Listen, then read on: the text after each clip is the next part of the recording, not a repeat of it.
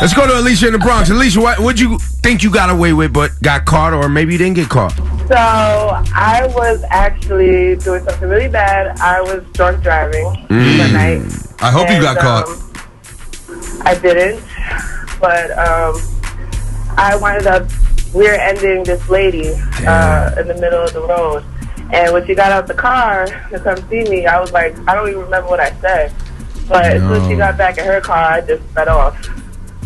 So wow, so you did get away. Yo, you got so lucky. I really did. Is was it? Yo, really listen. but Is this the first time? back to me. Is this the first time you talked about this? No. And have you learned your lesson regardless and stopped drinking and driving? Absolutely. I mean, Yeah, that's sound not like- good. you You, could sound have like you killed someone, man. No, definitely not. I'm not a murderer. Yo, listen. Murderer Jays. Hey, that's sensitive. Hey, Alicia, I appreciate you sharing though. Yeah, no doubt. I just want to say you guys are awesome and keep doing what you're doing. You, uh, Alicia, are you okay? Yeah, I'm good. How long ago this happened? This happened two years ago. Two years. All right, You well, sound you pretty. She sounds upset. I mean, Well, li- as listen. long as she learned her lesson, As man. someone who's been impacted in the worst way by drinking and driving, I forgive you. It's terrible that you did that, but you learned your lesson. And now you now you're on point. So at least you can spread the message to people to not do it. Yeah, please don't drink and drive. Not There you go. that.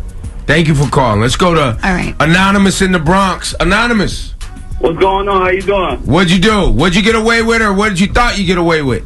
Long story short, we got into a scuffle back in college, and um, one of the dudes got the best of me until I seen him crossing the street, and I I ate the light, and I banged him You ran a man over, son. for sure. What do you mean? What do you mean? What do you mean for sure? Um, I'm not taking the L. Oh, You my you got into a fight and then you ran a man over with a car, my G. Yeah, my G, they jumped me. Nah, that's not how we do in the Bronx. There's no fair one. So so what happened to the guy? I don't know. Oh. Kept on going. Oh my goodness! I goodness. mean, I didn't run him over like, but I hit him with the car. That's for sure. Like how like how fast was you going?